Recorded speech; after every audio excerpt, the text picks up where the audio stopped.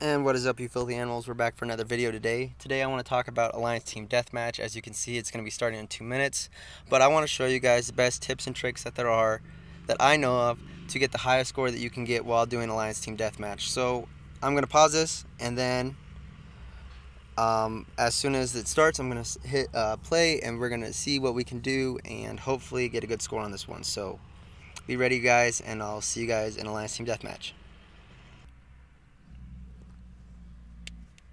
All right, we're back. So, we're to be jumping in on this. Um, some of the things that I'd recommend you guys doing is going to, to get the most points you possibly can in each Alliance Team Deathmatch. And you kill beasts, you gather resources, and you attack other people by uh, getting points. There are different beasts. The higher the level, the more points you get. I'm going to show you guys that as soon as we start off. I usually try to hit those first so I can get closer to the higher resource tiles. And then the higher resource tiles, there's ones with like orangish red letters. And those ones have a, a lot of resources. They're like 5 million or 2.5 million or somewhere around that area. And they gather way faster. So, I mean, you can gather those within like two minutes. You can gather that much that much points and that much uh, resources. And the more points you have, the better stats you're going to get, and the more you're going to get in the way of uh, stats and stuff like that. So and this looks like we have a really uneven match, but this will be good so I can show you guys what to do. So, I'm going to zoom out so I can see more, and then we're going to hit all the wrong buttons just to start the game off.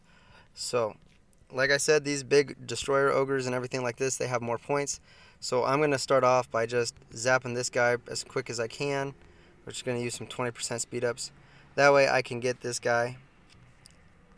And then I'm going to be looking around while I'm doing this and zooming in again looking for those resource tiles. And then while my guy's coming back I'm gonna just speed him back a little bit try to get this guy back faster so I can teleport over here. Because this looks like a pretty good gold mine to start off my alliance team deathmatch. So well bam I'm gonna hit this start attacking these guys. So and get as many points as you possibly can. So, um, yeah, just go ahead and feel free to watch. I'm going to be trying to do as much as I possibly can. Sometimes I'm not good at talking while playing this game and fighting. Most of my fighting videos, you guys know, I don't post very many. One reason is I'm just terrible at recording them. But in other ways, I just am terrible at talking while playing this and doing everything at one time. I'm a terrible multitasker. So, let's see here where are my higher resource tiles? Yeah um, by the way I'm outside. I had to stop on the side of the road so I rec record this. So I'm, I apologize for that and my sound quality isn't gonna be the best. Okay so this guy got this one right here but my guys got it so I'm not gonna worry about that too much right now. But as you can see this one is just speed draining like nobody's business. He had a lot of resources in there. So I'm gonna focus more on these beasts Try to get as many points as I possibly can, as fast as I can. I'm killing as many of these beasts as I possibly can. Now, something you want to look for, too, is these guys over here that are just sitting there. They have troops out, so this guy's going to be a prime target. So I'm probably going to hop over here and I'm going to smack this guy, see if I can get some points, because he has a lot of troops out right now, and, you know, it's just going to be an easy way for me to get points, because the more troops that are home, it's going to be harder to hit these guys. Like this guy, this guy is hitting this guy right here. He has lots of troops out, so it's good to hit him. This guy right here, as you can see, is level 25, has a deal above it. That means that he's a higher level, which means that his stats are probably going to be better. This guy, not so much. So I'm going to pop over here, and I'm just going to start smacking this guy. We're going to hit first with uh, my archer hero. I'm going to put my deputy in, deploy, and we're going to see what we can get. I'm going to speed in my first hit and see if I can get some good points right off the bat. And there we go. I have T5s. So now I'm going to go in. I'm going to hit with my infantry guy. Throw in. Uh, we're going to auto-assign deputies. I try to turn that off for while I'm doing other stuff. But now he's beating his troops back home. But I've already killed a bunch of his troops, so I'm going to be hitting him. And I'm going to be getting more and more hits in. Now I try to make sure that I don't have all my marches out at once because now he's going to try to hit me and I'm hitting all the wrong buttons. But as you can see, I'm going to try to get my troops home before he does. and hits me, so I have all my troops home for when he attacks me. And now I'm going to go back and I'm going to hit him again. And I'm going to hit him until he leaves or um, or he just decides to just keep hitting me. Which is fine because I know that I have more troops at home. He's not sending a full march anymore because he's lost a lot of troops already. So I'm just going to keep burning him. And the longer that he keeps troops out, the more I'm going to just backdoor him and I'm just going to keep hitting him until he just doesn't have very many troops left. So I'm going to speed these guys back.